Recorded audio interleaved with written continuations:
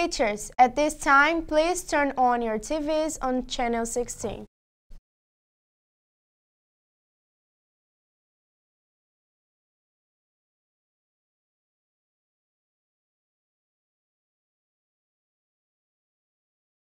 Good morning, Liberty High School. Please stand for the Pledge of Allegiance, followed by a moment of silence. I pledge allegiance to the flag of the United States of America and to the republic for which it stands, one nation, under God, indivisible, with liberty and justice for all.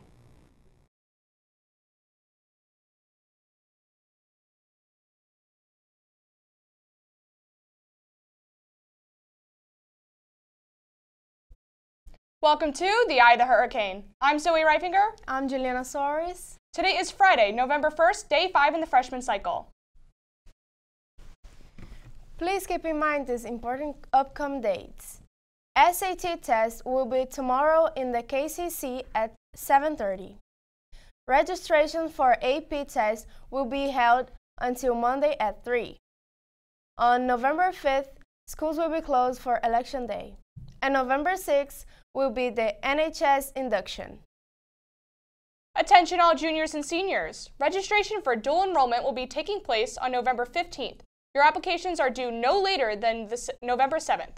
Remember to check your email for scholarship information. Also, come see Liberty Theater's production of The Crucible on Thursday, November 14th at 6:30, Saturday, November 16th at 6:30, or Sunday, November 17th at 2 p.m. Tickets are $5 for students and $10 for adults.